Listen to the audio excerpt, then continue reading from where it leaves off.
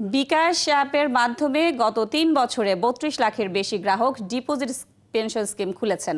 আবার সেসব গ্রাহকের ডিপিএস এর মেয়াদ ইতিমধ্যে পূর্ণ হয়েছে, তাদের ছিয়ানব্বই শতাংশ পুনরায় বিকাশের মাধ্যমে ডিপিএস খোলার আগ্রহ দেখেছেন মঙ্গলবার রাজধানীর একটি কনভেনশন সেন্টারে বিকাশের পক্ষ থেকে এসব তথ্য জানানো হয়।